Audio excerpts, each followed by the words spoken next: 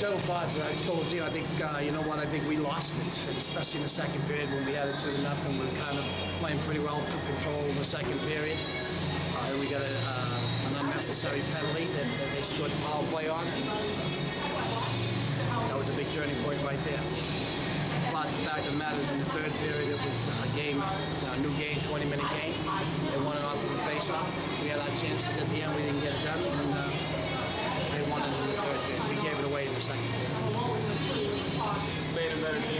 team than you saw in October? Have they improved? Of course, they're a better team. man. There's no, no, so aren't we? We have a good, two good teams going at it, and they won tonight. We'll come back tomorrow. I think you guys, you guys are up two nothing. It looked like you were going to go up three nothing. Donovan, you know, some big saves, particularly on that power play and You're absolutely right, and uh, you know we didn't, you know, we got that penalty, and that was a killer for us. It was- It wasn't a smart play on our part. And, uh, we, we should have gone ahead three to nothing to get that goal and turned around.